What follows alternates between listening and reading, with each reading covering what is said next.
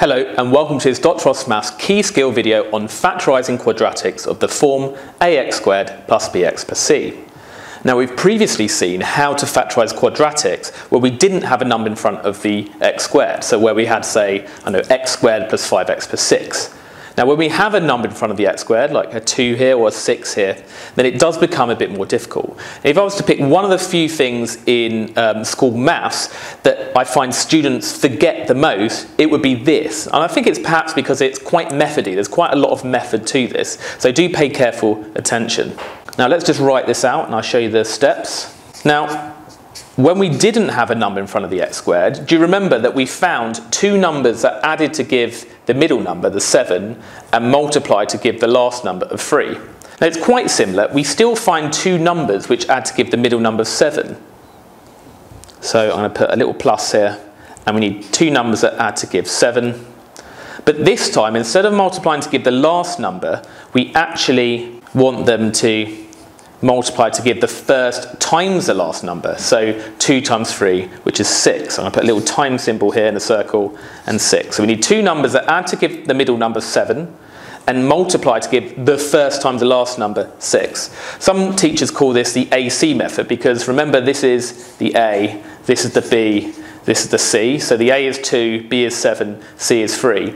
And we need two numbers that multiply to give A times C, or AC. And that's why they call it the AC method. So they add to give the B, and they multiply to give AC. So let's think about numbers which multiply to give 6. Well, we've got 3 and 2 multiplied to give 6, but they don't add to give 7, do they? Or we've got 6 and 1.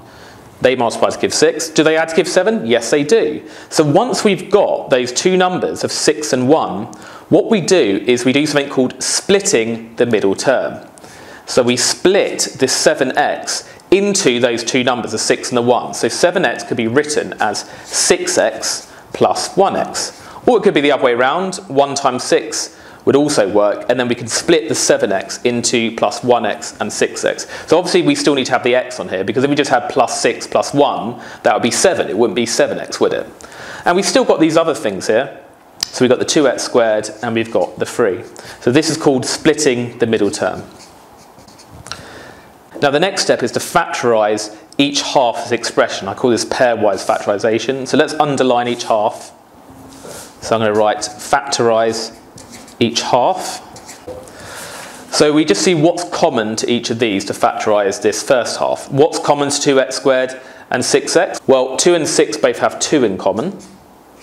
And x squared and x, well, x squared means xx, and that is x. They both have an x in common. Let's open a bracket. And then 2x times what is 2x squared? Well, it's x, because x times x is x squared. And 2x times what is plus 6x? Well, it's plus 3. Now once you've done that, leave a gap and then duplicate this bracket. So we leave a gap and duplicate that x plus 3. And then we factorise this in the same way. We just work out what times x plus 3 is x plus 3. Well, it's just 1, isn't it? And make sure that you put either plus or minus here, because otherwise if you didn't put plus here, then this would all be multiplied together, and you don't want that. You're adding one lot of x plus 3 here. Yeah? Now the final step is to see, well, what's common to this half and this half? Well, they both have an x plus 3 in common, so we're going to factorise that out as a common term. Open a new bracket, just as we did before, and then we say, well, x plus 3 times what is 2x, x plus 3? Well, it's 2x, isn't it? x plus 3 times 2x is 2x, x plus 3. This might be a bit confusing because you're not used to factorising out a whole bracket. And then we say, well, x plus 3 times what is plus 1 x plus 3? Well, it's plus 1. And if that step confused you, then just use this bracket here, the bracket you've got here, as one of the brackets, and anything outside of that bracket, so the 2x and the plus 1 are both outside this bracket here, that becomes the other bracket. And then we're done. If you want to check that, you could always expand this out and just check that you still get that. Now let's apply this same method to this second one here. Let's write this big. Again, we find two numbers which add to give the middle number, which is minus 19, don't forget the minus. and then multiply to give AC, so the first times the last number. 6 times positive 10 is 60.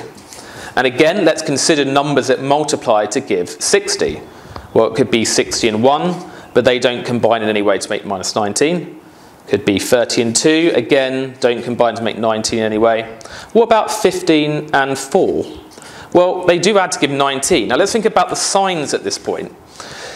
If they multiply to give a positive number, either both the numbers were positive or both the numbers were negative.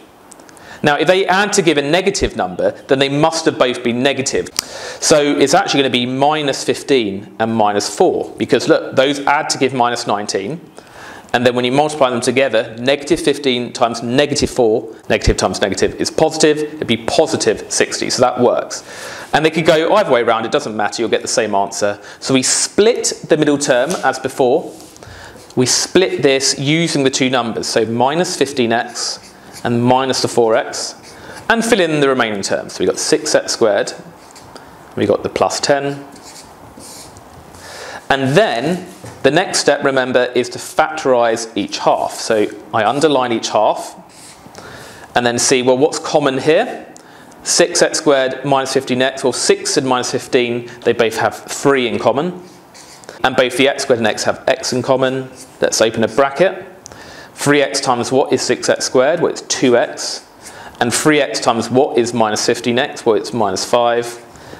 Then, as before, we leave a space duplicate the bracket, and then think, well, what times 2x minus 5 will give you minus 4x plus 10? Well, it's minus 2, isn't it? Because minus 2 times 2x is minus 4x. Minus 2 times minus 5 is positive 10. And then the very final step, if you want to do it the quick way this time, remember this is one of the brackets, so 2x minus 5, and the other bracket is just everything outside of it, so the 3x and the minus 2. And that is the final answer.